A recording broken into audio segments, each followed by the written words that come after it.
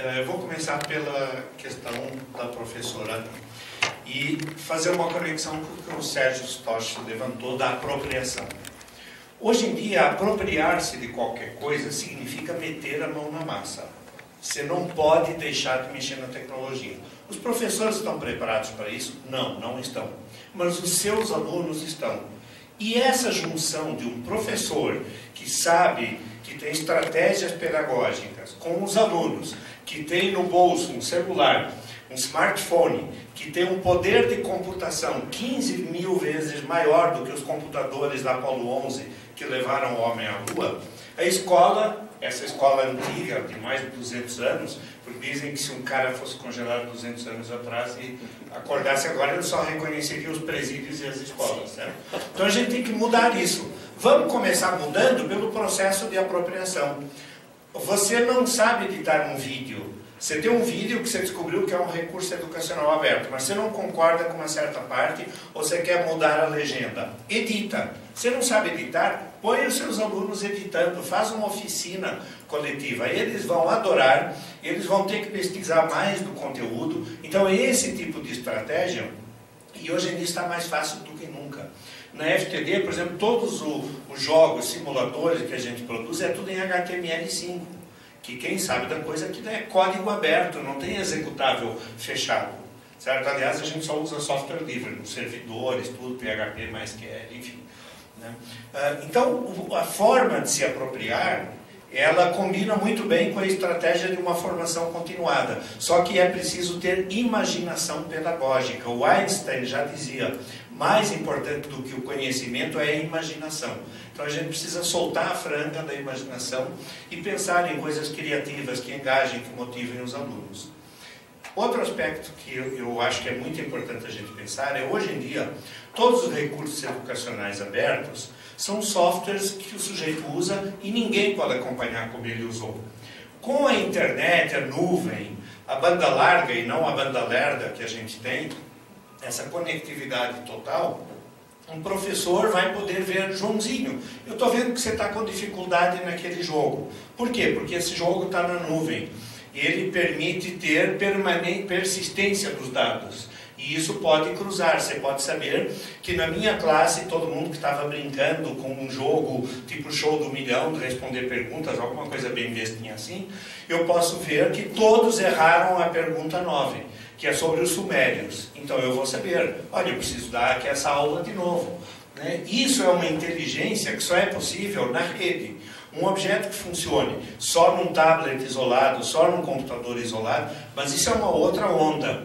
Hoje, se a gente for ver, e eu não sei se isso fez parte da pesquisa, analisar esses objetos, a tecnologia deles, deve ter muita coisa em Java, em Flash, tecnologias obsoletas que não vão rodar no smartphone dos alunos, não vão rodar nos tablets e que são difíceis de alguém chegar lá e abrir e poder adaptar.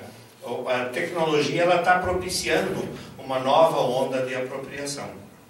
Indo à questão, eu estou falando bem rápido, que é para procurar ter uma dinâmica melhor de tempo, não, não ter minhas orelhas puxadas de, de ultrapassar um tempo que nem está definido qual. Uh, mas a questão das editoras, o companheiro lá na ponta, lá atrás, levantou a questão que a editora pode contratar alguém, pagar e fazer, mas isso não é bem assim. Por exemplo, se a gente apresentar um livro de língua portuguesa para o médico, onde, para ensinar a crase, eu, eu posso inventar um texto na hora. Eu tenho, inclusive, uma série de livros editados aí, poesia, etc. Eu poderia pôr, criar um texto na hora. O MEC não aceita. Ele só aceita textos reais de autores reais. Então eu preciso pegar um texto da Clarice Lispector, do Monteiro Lobato, e pôr no livro uma situação real. E para eu pôr no livro eu vou ter que pagar. Não para esses autores, porque eles já morreram, mas para seus herdeiros. Aí eu posso pensar, ah, eu vou pegar um, um livro do o Karl Marx, já morreu há mais de 70 anos. A gente pode pegar, do 18 Brumário, vamos pôr. Mas peraí, o tradutor já morreu há 70 anos? Senão eu vou ter que pôr o texto em alemão. Então tem uma série de problemas conexos, é um pântano que o mais simples seria a gente ter o conceito de fair use, um uso justo. Se é para usar em educação, se é para usar em sala de aula, está liberado.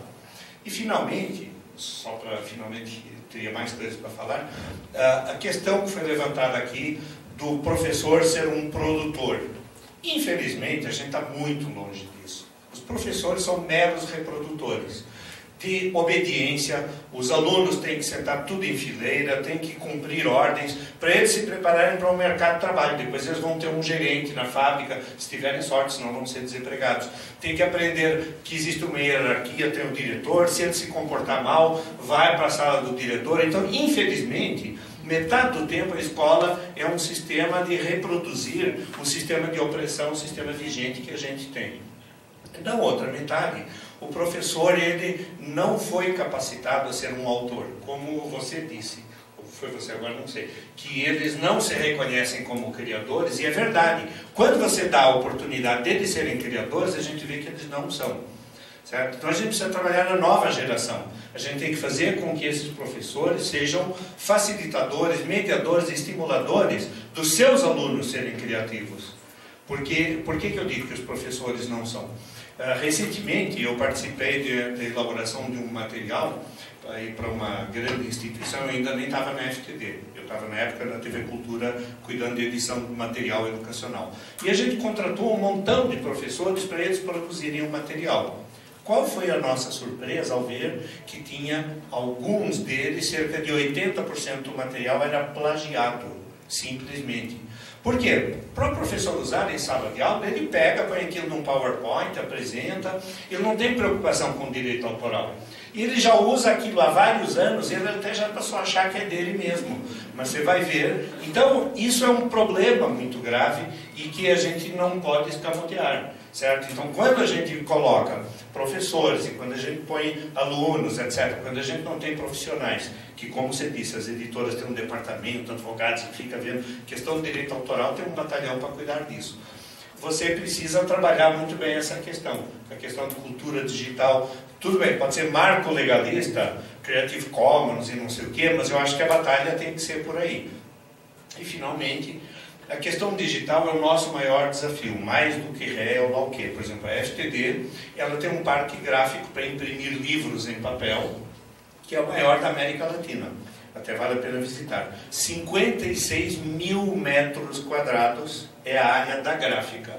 O ano passado a gente comprou uma rotativa nova por 14 milhões de euros.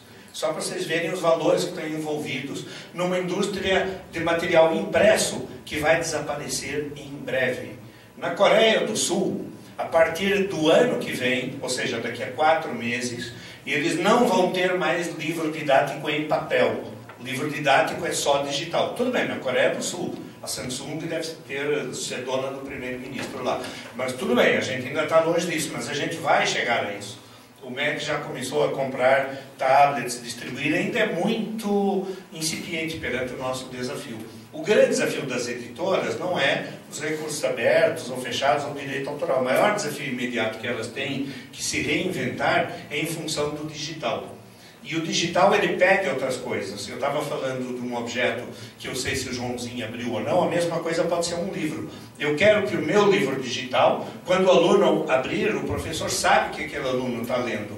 O professor pode colocar um comentário e ele vai aparecer no tablet do aluno. Quando o aluno sublinhar uma coisa, os outros da classe de repente podem ver.